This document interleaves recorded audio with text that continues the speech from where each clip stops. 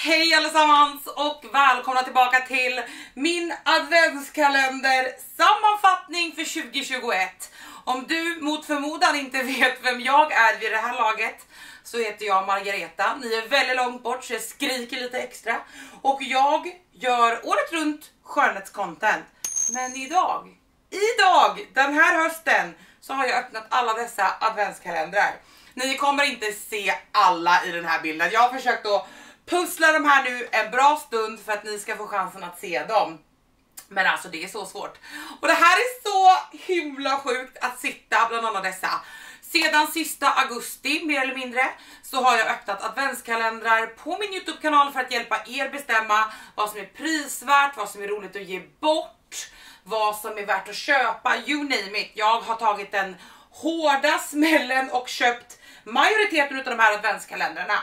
Först och främst så vill jag skicka ett jättestort tack till er allihopa som har handlat adventskalendrar eller använt mina reklamlänkar till någonting annat under den här hösten. Det har verkligen gjort den här hösten sjuk. Alltså jag är så överväldigad och eh, glad. Utöver det så har vi också nått 70 000 prenumeranter på kanalen vilket känns helt unbelievable. Jag kunde aldrig tro det när jag sa upp mig från mitt dagjobb i våras att det skulle komma så här fort. 70k hörni! Woo! Och idag i alla fall så ska vi sammanfatta den här. Den siffran som alla har väntat på är Drr, vad har du betalat för kalendrarna? Jag har betalat, jag har räknat och räknat, jag kan ha missat någon, jag kan ha räknat någon två gånger. Men jag har spenderat 81 526 kronor på kalendrar. Jag vill också säga ett jättestort tack till de företagen som faktiskt har skickat sina kalendrar till mig.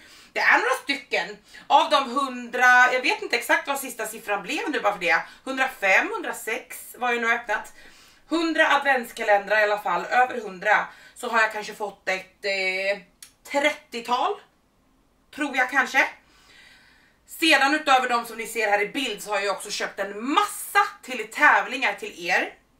Anledningen till att jag har min anteckningsblock här igång är för att jag inte ska missa att säga någonting. Jag har ju också jättemånga tävlingar igång och alla mina adventskalenderöppningar, tävlingar, eh, kommer avslutas på lördag den 20 november. Och det är alltså i inspelande stund på kommande lördagen. Så att jag hoppas att ni har varit med och tävla, annars är det bara att tävla. Jag kommer länka alla tävlingar jag har igång här under videon och de avslutas som sagt den 20 november. Och man blir kontaktad i privat meddelande för att bekräfta att man fortfarande vill ha vinsten.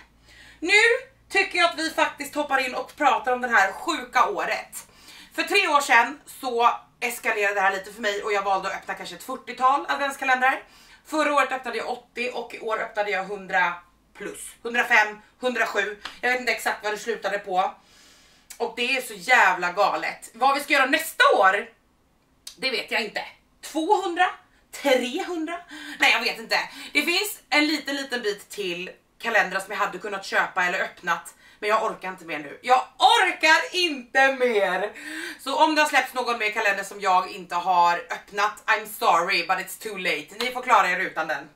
Nu ska vi börja med den absolut personliga favoriten av allas åsikter spelar alltså ingen roll här utan bara min egen. Vad av alla dessa kalendrar hade jag blivit gladast av att få? Jag kan säga det att jag hade blivit glad för typ 35, jag hade blivit glad av alla de här men försöker jag lura. Det finns några riktigt bra, Cult Beauty som står där nere jättebra. Glow ID. Jag hade blivit jätteglad för den stora ifrån Nordic Feel. Jag hade blivit jätteglad av Hudoteket, Lush, Guldfynd, Number 7, Space NK, Look Fantastic, Sephora. Så många bra kalendrar men min ultimata favorit hoppas jag att ni ser, jag tror att ni gör det. Och det är den här blåa busen. Och eh, Kicks har släppt också, jag tror att ni ser den också, det står en röd där borta. Kicks har släppt två stycken adventskalendrar i år. En med smink och verktyg och liknande och en med hudvård. Och jävlar vad Kicks satte ribban högt på den Kicks blåa. Det var eh, lätt på den första halvan utav adventskalendern, alltså de första 50. Den höll ut länge, det märks att de hade ett stort lager och jag är så glad att så många människor har fått tillgång till den. Jag tävlar ut en uppsättning utav de här på min Youtube och en uppsättning på min Instagram. Bland annat, och det här är min, jag är så glad över de här. Alltså de här, är... den här, Nej men alltså, den är så bra och ingenting i den här videon handlar om spoilers. Så jag kommer inte prata om någonting om innehållet, bara varför jag tycker om dem. Allting med den är bra. Jag tycker prislappen är rimlig, den är vacker att titta på, lätt att använda, roligt varierat innehåll med bra storlekar. Det finns ingenting att klaga på när det kommer till den kalendern. Det är min ultimata kalender. Sen finns det två eller tre till som är precis, alltså precis på kanten till lika bra. Men jag måste säga den blå är från Kicks. Årets snackis ska vi inte diskutera så mycket. Min video har i inspelad stund kanske 350-400 000 visningar. Jag har varit med i Aftonbladet, Expressen. Eh, alla stora tidningar har ringt eller mejlat eller kontaktat mig på något vis. Jag har typ valt att inte prata så mycket om det för att jag har ingenting att säga. Alla mina åsikter om Kajas adventskalender är i den videon.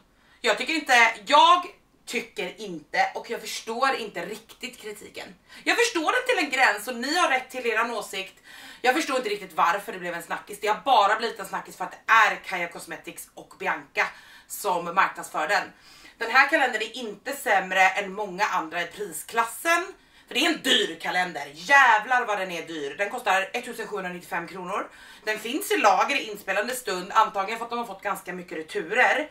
Men det finns väldigt mycket kalendrar bara här i närheten som är i samma liksom stuk. Vi snackar Filorga, Lancome, Kiehl's, alltså alla kostar inte exakt likadant men ni kan jämföra dem ungefär. Vad har vi mer här bara jag kan peka på? Eh, spelar ingen roll.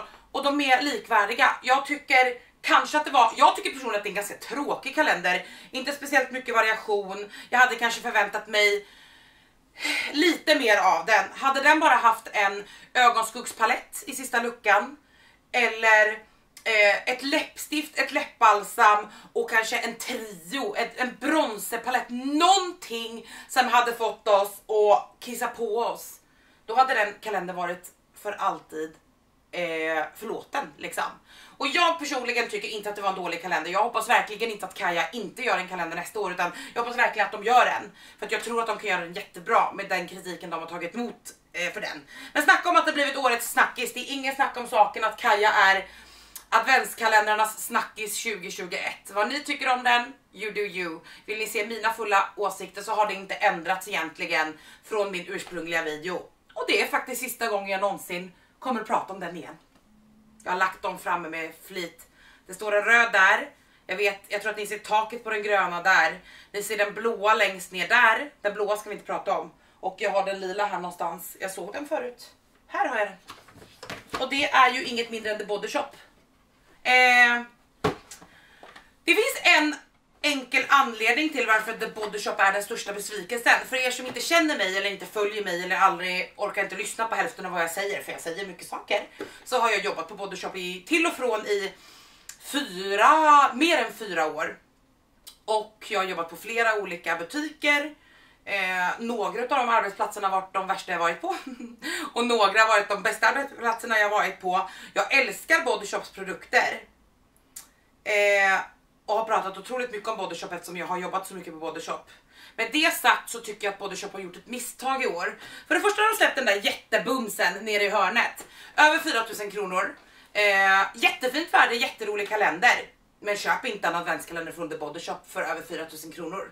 Utan om du vill köpa saker från Bodyshop för det typer utav pengarna. Ta dina 4000 kronor, gå till Bodyshop som har jättemycket roliga produkter och köp de sakerna som du vill testa. Passa på när de har 15% på allt, 3 för 2 på allt. Köp inte den kalendern. Det betyder inte, det här är de finaste, vackraste kalendrarna Bodyshop någonsin har gjort. Men alltså det är orimligt. Ja, nej! Jag tycker inte om det och jag tycker att de har snuvat de ordinarie tre kalendrarna, de är högre pris än någonsin med sämre värde än någonsin. Den enda som jag tycker är okej egentligen är väl den lila ifrån Body Shop. Eh, de andra är liksom, alltså missförstå mig rätt, den blåa är fenomenal. Alltså jag älskar den, den är så, den var så rolig att öppna. Jag är jätteglad för den som vinner innehållet i den, för det tävlar jag ut i den videon och jag är jätteglad för det. Men det är tråkigt att de har snuvat de andra tre kalendrarna på värdet för den blåa. Med det sagt, alltså de här är så jävla fina så det finns inte. Bodyshop har verkligen överträffat sig själva. Men jag hoppas att de går tillbaka till vad de har varit. Bodyshop har varit den bästa kalendern år efter år efter år efter år. Och jag tycker det är tråkigt att de höjer priset och sänker värdet. Och det gör att de inte ens är i närheten av lika bra som de har varit. Med det sagt alltså, den där blåa jäveln. Hade jag fått den en december då hade jag kissat ner mig. Men jag tycker fortfarande att för över 4000 kronor så kan du gå till Bodyshop och plocka ut precis vilka produkter du vill ha och göra din egen kalender. I'm just saying.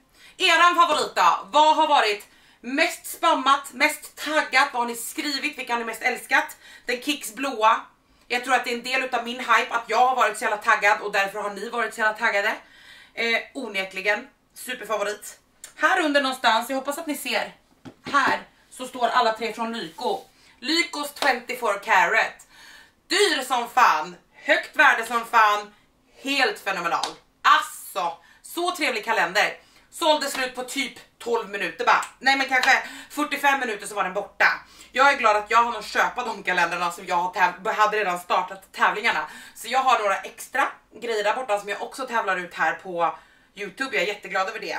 Och den sista snackisen, jag har ingen aning om vad den är. Fredrik har hjälpt mig att ställa upp de här. Men det är i alla fall Zalando.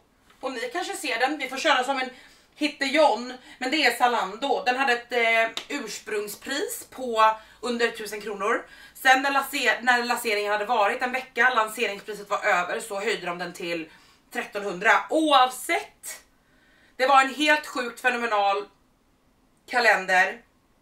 Alltså den luckan är den, du vet, som det håller fan på att kissa ner mig alltså.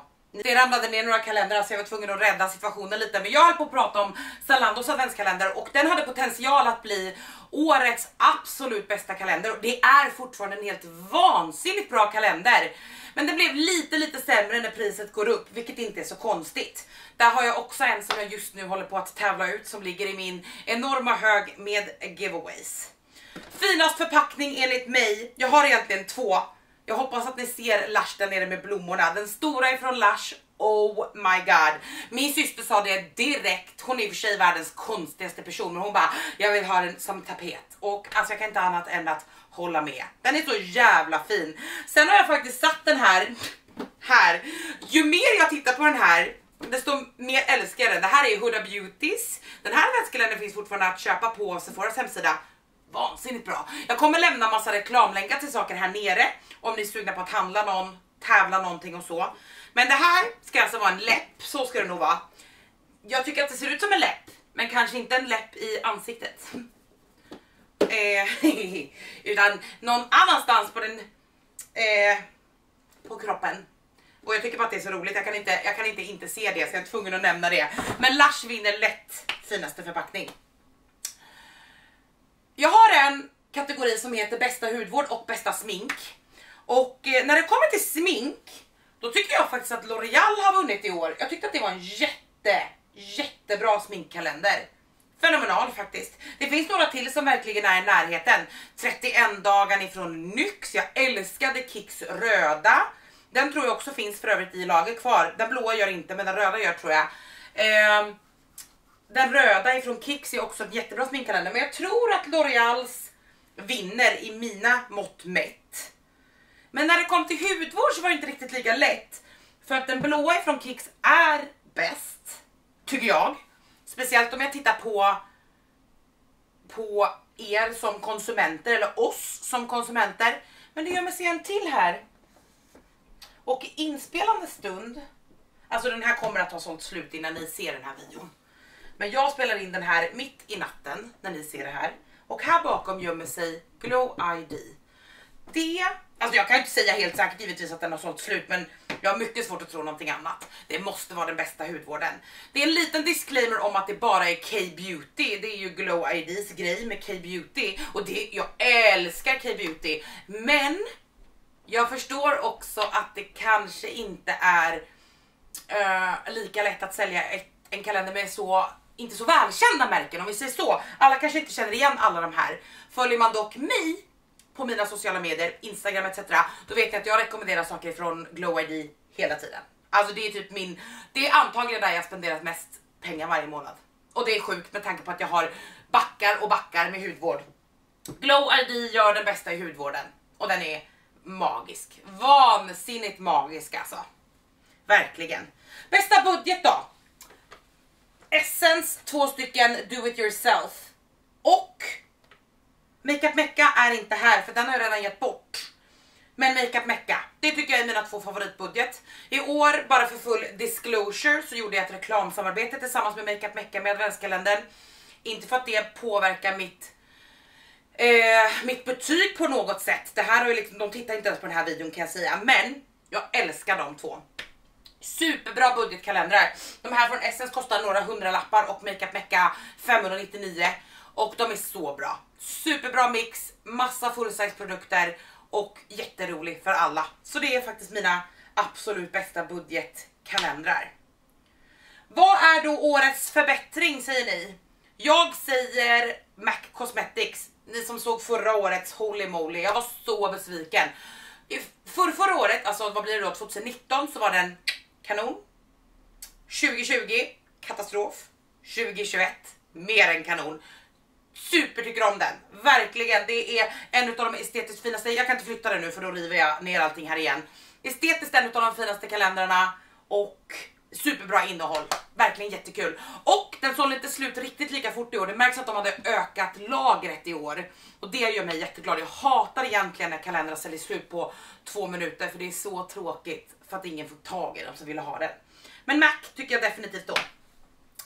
Årets sämsta adventskalender ska vi. Jag nämnde innan att Nordic Feel hade en som jag tyckte jättemycket om. Och eh, Nordic Feel släppte på en liten höft en som heter Makeup Guru. Jag har öppnat fyra Nordic Feel adventskalendrar i år. De släppte först en Makeup Guru. Vi allihopa på min Instagram gick bunkers, köpte allihopa, sålde slut på en timme. De hann inte ens berätta att den fanns i lager. Den kommer fram. För det första, Makeup Guru, va?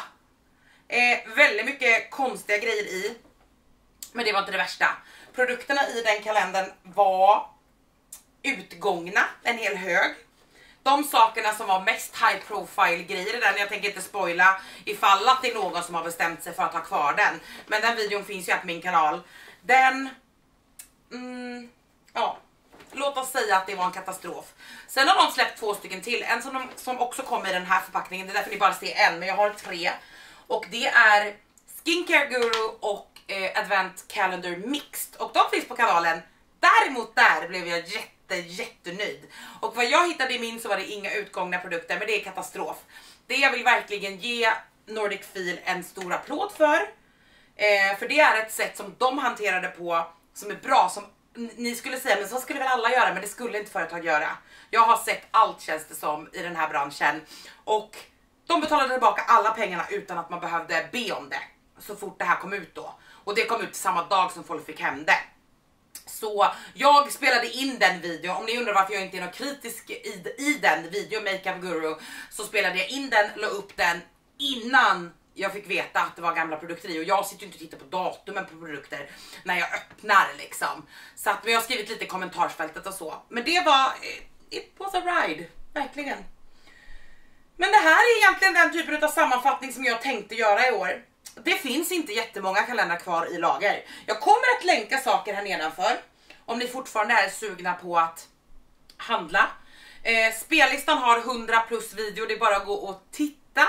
Och under alla videor nästan så finns det en reklamlänk som jag fortfarande är otroligt tacksam eh, över att ni använder. Och med det så tackar jag för mig. Tack för den här helt galna hösten. Eh, jag har inte sovit många timmar. Inte, det har inte varit många fulla nätter sedan augusti kan jag säga. Med det här sagt, vad är det då? Alltså det är typ, det är två videor om dagen sedan augusti. Och den, den, eh, den regelbundna youtubern lägger upp kanske två videor i veckan. Och jag brukar lägga upp tre videor i veckan. Och jag har lagt upp 140 videor nästan sedan sista augusti. Eller 130 kanske, sedan sista augusti. Så you do the math, I'm tired. Nu kommer det bli lite sporadisk upp, eh, uppladdning på kanalen men det kommer saker. I december så drar jag till Zanzibar i två veckor lite ungefär. Och ni kommer att få följa med. Jag kommer inte jobba någonting medan jag är borta. Men jag kommer att vlogga. Det är typ inte jobbigt, kameran är bara med. Och sen kommer ni få vloggar när jag kommer hem runt jul. Så det kommer content men inte varje dag från och med nu. Tack för att ni tittar på dagens video hörni. Glöm inte bort att prenumerera om du ännu inte har tryckt på prenumerationsknappen. Det betyder jätte jättemycket för mig. It makes all the difference. Och glöm för tusan inte bort att gå och tävla på alla kalendrar som fortfarande är igång. Jag länkar dem här nere. Ha en jättebra dag nu så syns vi igen snart. Hejdå!